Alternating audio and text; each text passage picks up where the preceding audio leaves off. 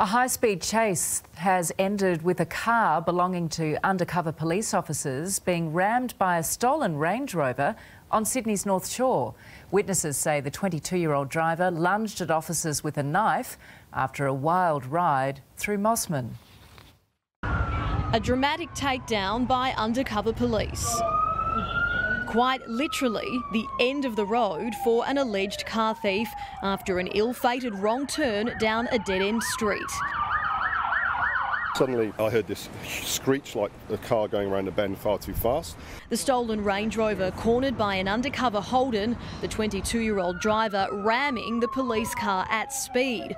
Two plainclothes officers springing from the vehicle. Shouting at the top of their voices, get out of the car, get out of the car. Witnesses say the undercover officers were standing here with their guns drawn when the driver opened his door and lunged at them with a knife. But when he saw the firearms pointed straight at him, he dropped his weapon. The officers weren't hurt, but their car might be a write off. Two other parked cars sustaining minor damage. Police say the SUV was stolen from a nearby home in Mosman early this morning.